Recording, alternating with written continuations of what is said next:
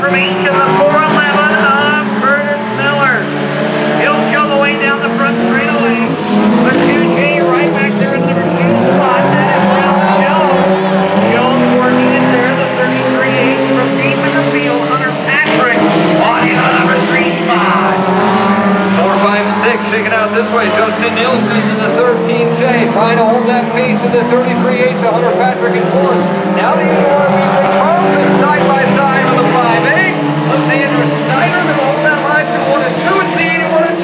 Smith into fifth. Curtis Miller, your race leader down the front straight away.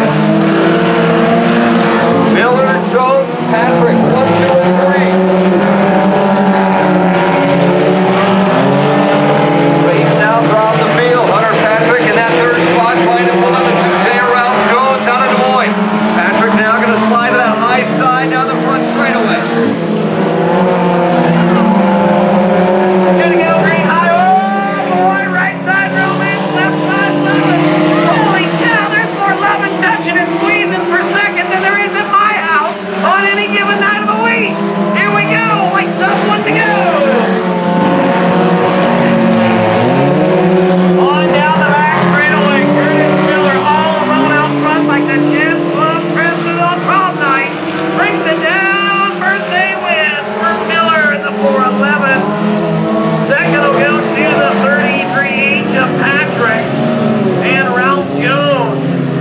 comes home in the number three spot.